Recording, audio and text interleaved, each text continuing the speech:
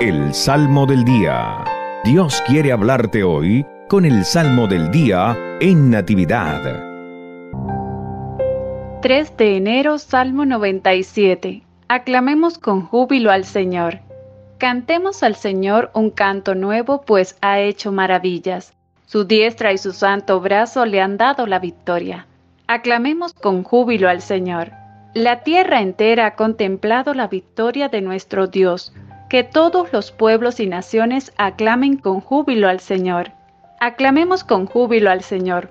Cantemos al Señor al son del arpa. Suenen los instrumentos.